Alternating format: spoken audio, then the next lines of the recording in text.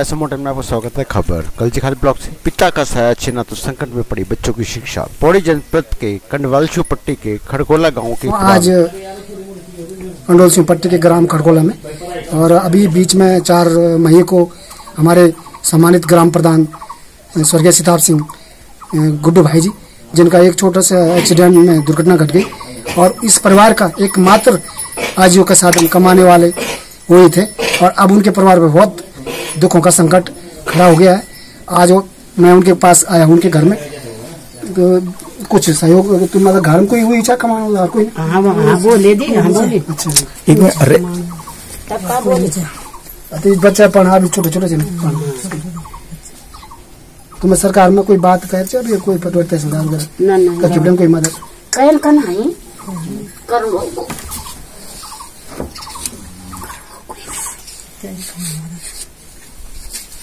काम वगैरह उनसे ना सको कुछ? आजकल जनग्राम सब काम का काम चौक लगी छे काम आजकल बंद है। अच्छा गाड़ी उड़ी नहीं छापे, गाड़ी भी छे नहीं है गाड़ी कुछ नहीं अच्छा। कुछ नहीं तुम्हारे बीपीएल वगैरह कुछ नहीं? कुछ नहीं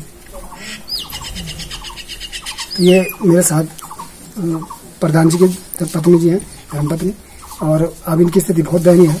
और हम चाहेंगे सरकार से कि सरकार इनको सहयोग करे और इनकी मदद करे ताकि अपने बच्चों का भरण पोषण करे। जगमोहन टांगी पहाड़ों की आवाज़ ग्राम खड़कोला पौड़ी गढ़वा मैं। आपको सुनिए। मेरा नाम पंकज है अच्छा। और मैं खड़कोला गाँव से बिलोंग करता हूँ। और मैं अभी हाल ही में मेरे पिताजी का देहांत हुआ है। और मतलब वो एक अकेला ज़रिया थे हमारा मतलब कम कमाने के। मैं हाल ही में अभी एचएम मतलब एक इंस्टीट्यूट से एचएम का कोर्स कर रहा था गोवा में। और मतलब अब मेरे को लगता है कि मेरा जो एचएम है वो नहीं हो सकता है।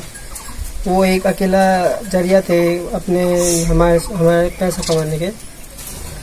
तो आपके पीछे छोटे छोटे भाई है मम्मी अब कैसा होगा घर का? नहीं नहीं। हाँ अब हम, हमको शायद थोड़ा और ज़्यादा करनी पड़ेगी। मेहनत करनी पड़ेगी, शायद मेरे को ही जॉब करनी पड़ेगी। अभी तो भाई जो है, बहुत छोटा है और बहन भी छोटी है हमारी।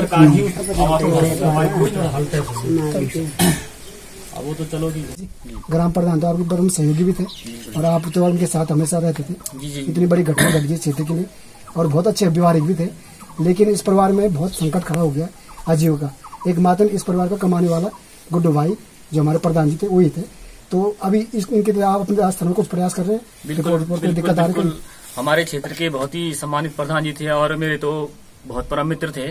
अपने दिल की हर बात मेरे शेयर करते थे। उनके जाने से पूरे क्षेत्र की बहुत बड़ी हानि हुई है। और मैं अपने माध्यम से जितना मेरे से हो सकता है मैं सामाजिक सोच से जुड़ा आदमी हूँ जितना मेरे से उनको परिवार को मेरे लगातार बातचीत चल रही है और शासन प्रशासन से जितना भी मेरे से हो सका उनको भरपूर सहयोग दिलाने की कोशिश करूँगा। आपने तो विधायक जी से भी बात की थी और आपके ब्लॉक प्रमुख बहुत करीबी हैं। उनकी तरफ़ से क्या सहयोग हो रहा है? अभी विधायक जी से मेरी इस विषय में कुछ खास बात हुई नहीं क्योंकि अभी वे चुनाव में व्यस्तम है और मान्य प्रमुख जी तो खुद स्वयं घर पे आए थे। उन्होंने भी आश्वासन दिया है। और अब उनको मैं अपने माध्यम से बार बार उस चीज़ को याद दिलाता रहूँगा कि कहीं न कहीं इस विपरीत घड़ी में भगवान ने करे किसी के साथ आए। इस विपरीत परिस्थिति में उनका परिवार के भरण पोषण का कुछ न कुछ व्यवस्था करें। और आप भी अपने तरफ़ से और आपके चैनल की तरफ़ से भी शासन प्रशासन से इस विषय में चर्चा करेंगे। और जैसे ही चुनाव की प्रणाली खत्म होती है, मैं स्वयं इस विषय पर मान्य विधायक से मिलकर जितना उनसे हो सकता है, इस परिवार को सहायता दिलाने की जय उत्तराखंड। पहाड़ से जुड़ी खबरों को वॉइस ऑफ़ माउंटेन्स आपके लिए लगातार ला रहा है। यदि आपने हमारा चैनल अभी तक सब्सक्राइब नहीं किया तो प्लीज़ सब्सक्राइब कीजिए, घंटी बजाइए शेयर कीजिए कमेंट्स कीजिए और लाइक ज़रूर कीजिए। देखते रहिए वॉइस ऑफ़ माउंटेन्स